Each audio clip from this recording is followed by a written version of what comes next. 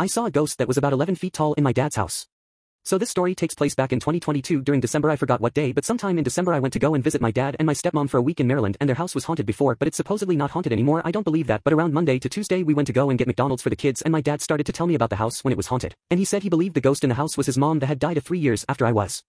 Born my stepmom was telling me about it too and she told me that my dad's mom came to her in her dream and talked to her about my dad and to take care of him I told them that's a bunch of bullcrap I didn't believe them at the time so we went on with the day and I didn't think about it but later that same night I was chilling in the living room on my phone with my sister's cat because her cat likes me more than her. And I think it was around 2.30 am to 4 am so it was dark out everyone was asleep.